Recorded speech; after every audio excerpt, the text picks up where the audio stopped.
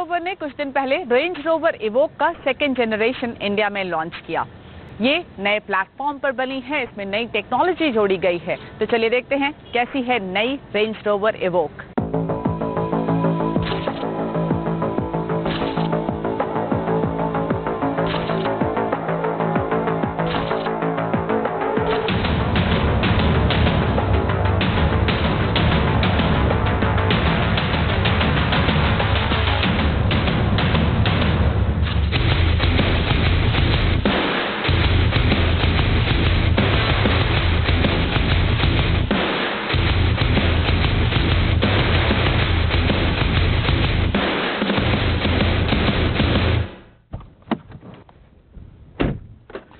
range rover की नई evoke जो फाइनली भारत में लॉन्च हो चुकी है और करीब नौ साल के बाद इसका सेकेंड जनरेशन आया है, जो आपके सामने है। क्योंकि 2011 में ये गाड़ी पहली बार लॉन्च हुई थी और अब जा करके 2020 में इसका सेकेंड जनरेशन आया है।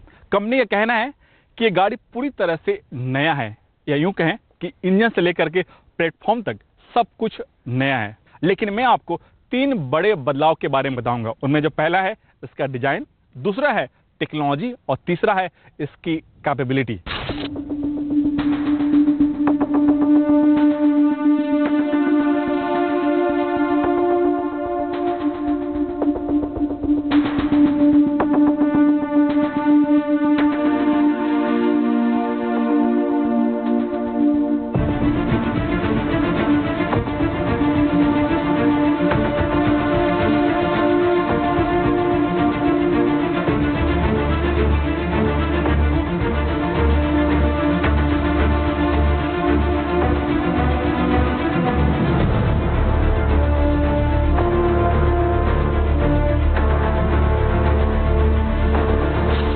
डिज़ाइन की बात करें तो नई ईबोक को नए प्लेटफॉर्म पर बनाया गया है। इसी वजह से जो इसकी हाइट विथ और लेंथ है, वो पहले से थोड़ा सा ज़्यादा मिलता है। यहाँ तक कि जो इसका व्हील बेस की लंबाई है, उससे भी थोड़ा सा बड़ा किया गया है। इसी वजह से जो सेकेंड रो सीट है, उसमें आपको जो लेग रूम है, वो थोड़ा सा ज़्यादा मिलता है पहले वाली ईबोक के मुकाबले।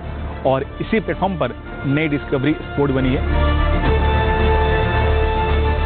ये इवोक भी कम कूपे जा दिखती है।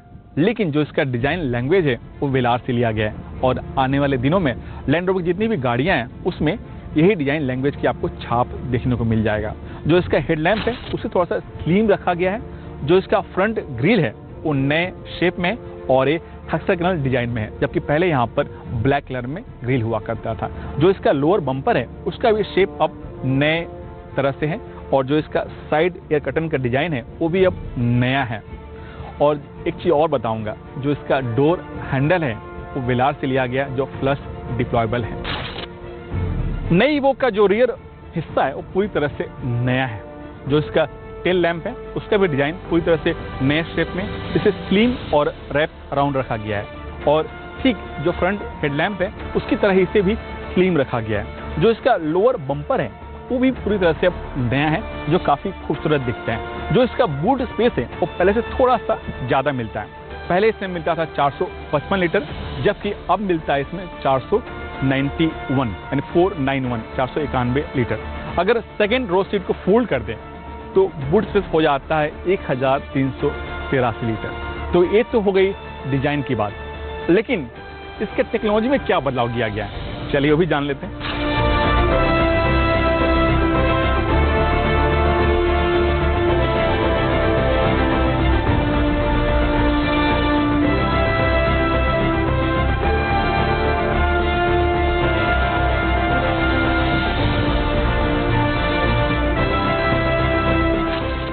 का इंटीरियर पूरी तरह से नया है और इसे पहले मुकाबले और भी सिंपल बनाया गया जो लैंड रोवर गाड़ियों की खासियत भी है। जो इसका डैशबोर्ड है सेंट्रल कंसोल पैनल और जो इसका स्टेयरिंग व्हील है, वो पूरी तरह से नया है।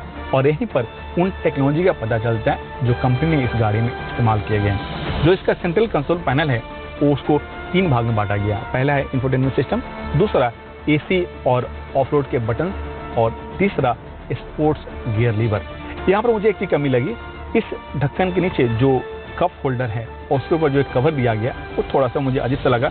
यहाँ पर पहले वाली जो इवोक थी, उसकी तरह स्लाइडिंग कवर होना चाहिए था। जो उसका स्टेयरिंग व्हील है, वो पूरी तरह से नया है और इसके ऊपर जो बटन दिए गए हैं, वो फेदर टच है एंड टच के सहारे काम करते हैं। लेफ़्ट साइड में आपका ऑडियो दिया गया, जबकि राइट साइड में आपका क्रूज कंट्रोल लेन चेंजिंग और स्पीड लिमिटर दिया गया। जो इसका TFT स्क्रीन है, वो एनालॉग स्टाइल में है।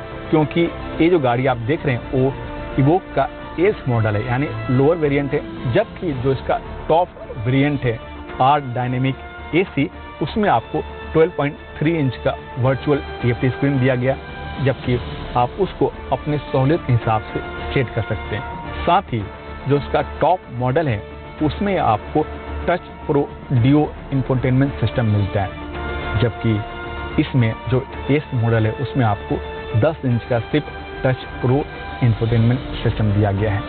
लेकिन इसकी कैपेबिलिटी कैसी है? चलिए वो भी चला के देख लेते हैं।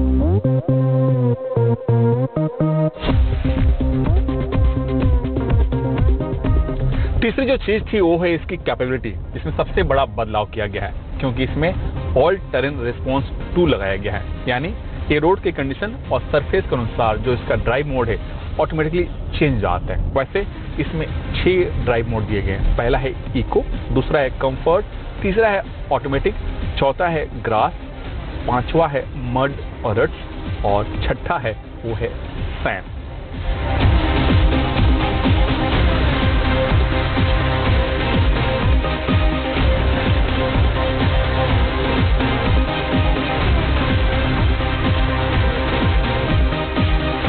इंजन की बात करें तो इसमें दो लीटर का बी इंजन लगा है, जिसका पावर आउटपुट है 178 bhp और इंजन 9 स्पीड ऑटोमेटिक गियर के सहारे काम करता है। तो गियर इतना स्मूथ है कि पता नहीं चलता है कब गियर चेंज हो रहे हैं। स्पीड की बात करें तो जो इसकी टॉप स्पीड है 205 किलोमीटर।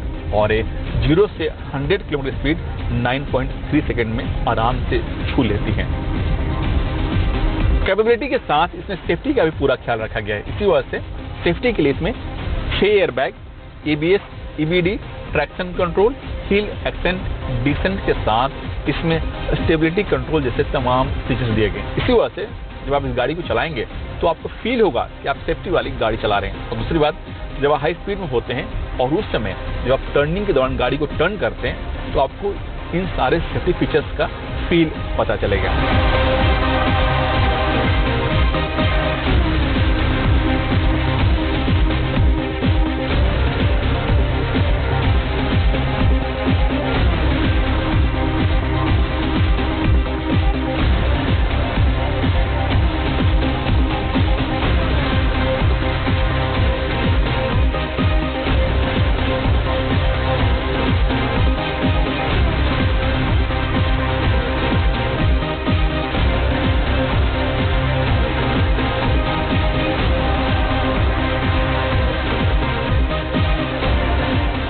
काम की बात कि नई इवोक का किन किन गाड़ियों से मुकाबला है? तो इवोक का जिन गाड़ियों से मुकाबला है, उनमें मर्सिडीज की जीएलसी ऑडी की Q5 और BMW की X3 शामिल है।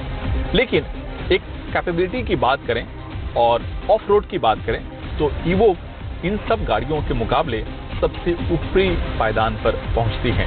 इसी वजह से मेरा मानना है कि अगर आपका बजट है साठ लाख के आसपास और एक आप लग्जरी फीचर के साथ आप ऑफ़ रोड कैपेबिलिटी वाली गाड़ी चाहते हैं तो आपके लिए इवो एक बेस्ट ऑप्शन हो सकता है इन सब गाड़ियों के बीच में।